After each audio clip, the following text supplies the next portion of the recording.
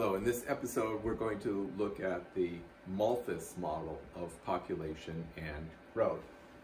The idea that rising population with diminishing returns is going to result in a trap of low levels of income, possibly called a population trap.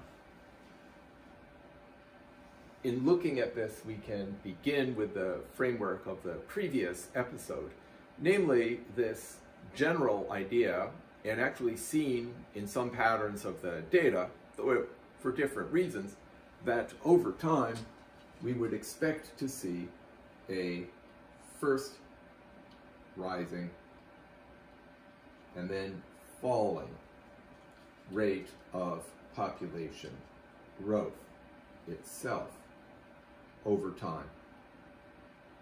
As per capita income got higher, that this would be the effect as seen in the population growth rate. Now, think about the population growth rate as showing a pattern like this one. We're going to really first focus on this part of the inverted U. And in terms of thinking about income per capita, how we might be trapped as a result in low income per capita, it can be useful to compare the population growth rate with the overall income growth rate.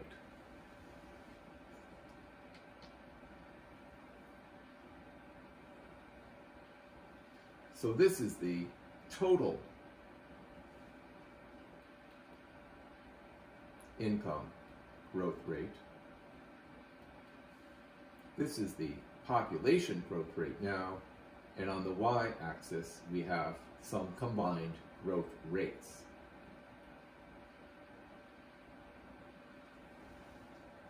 Now the idea here is that we could be stuck at an equilibrium at this point, at a rather low per capita income.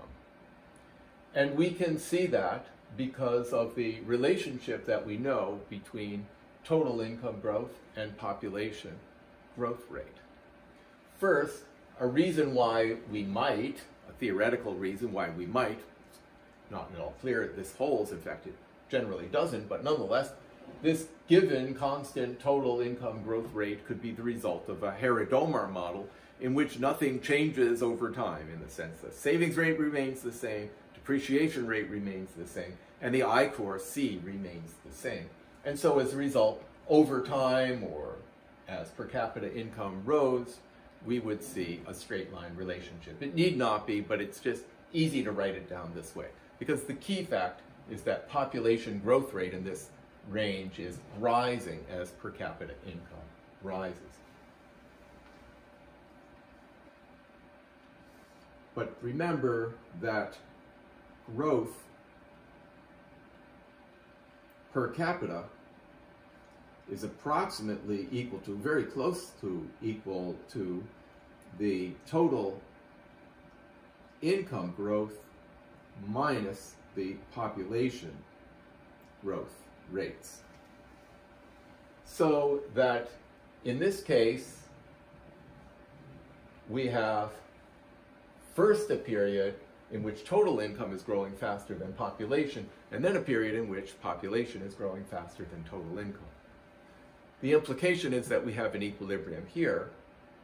We can argue it in the similar kind of framework as a proof by heuristic, proof by contradiction, like we did in the Solow model and elsewhere.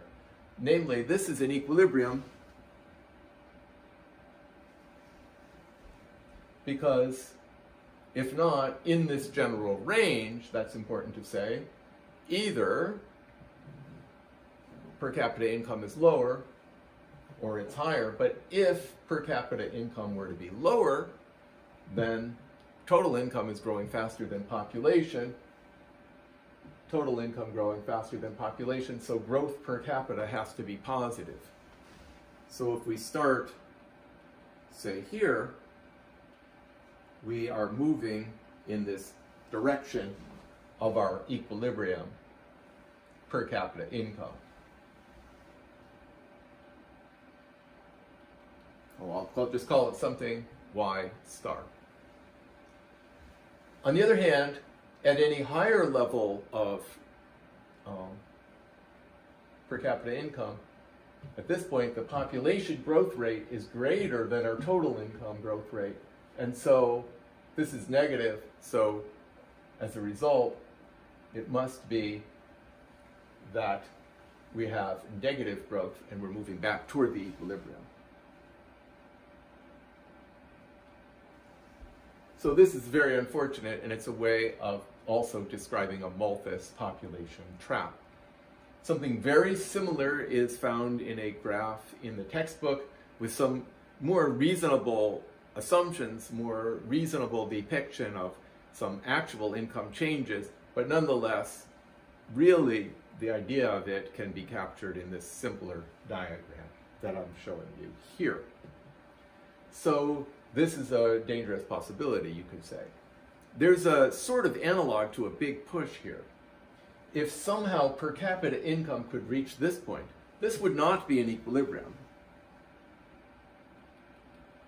It would be a particular kind of unstable equilibrium, really, in which if per capita income were just to cross this amount, then at that point, as far as we know ongoing into the future, per capita income would continue to rise. Here, as drawn, the total income growth rate remains greater than the population growth rate. And so we could have an indefinite rise in per capita income.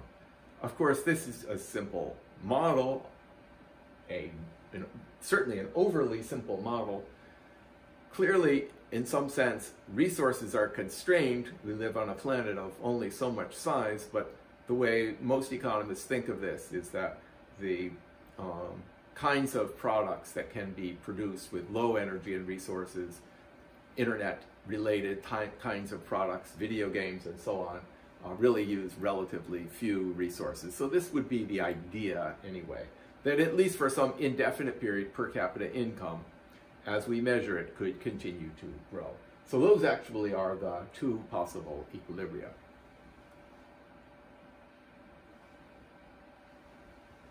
There's a number of criticisms of this model. One is that the impact of technological progress has been very striking. One thing that it has done is to enable countries to get past this point. However, in addition to that, something important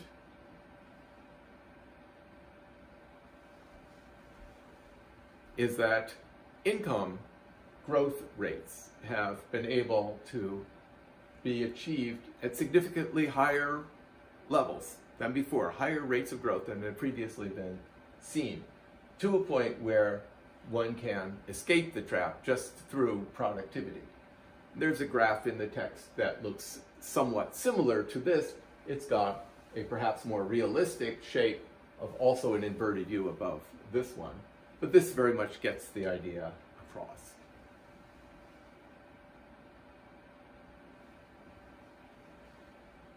By the way, there's also no current positive correlation between population growth and levels of per capita income in the data.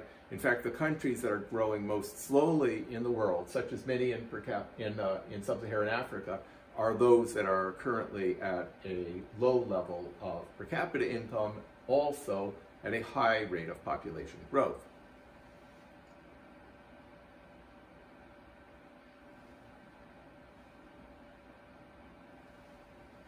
So that this is the basic um, story and question, can we, in the longer term, escape from this? And we think that we can.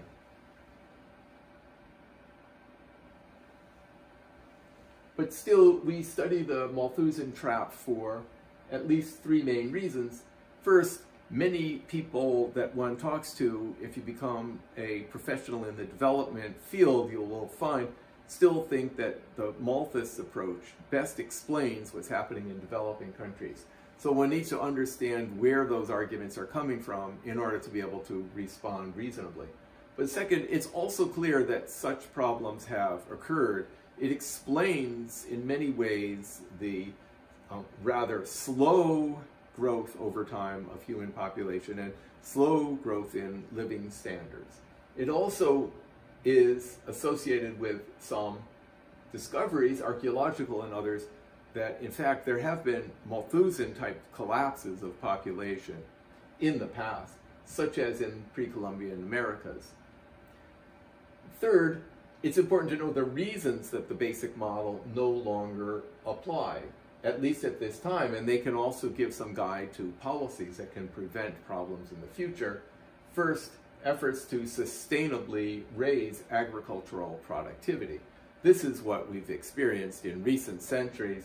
Many specialists have been pointing to slowdowns in global increases in agricultural productivity with some concern, as of course there is continued increase in the population, as we've seen.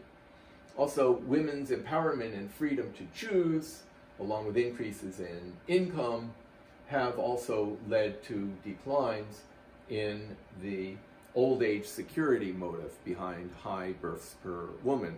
That when you're too old to work, your hope of security depends upon having children who will then um, take care of you. And so, with that, I'm going to leave this episode and we're going to examine how some of these factors can be understood within a microeconomic analysis framework.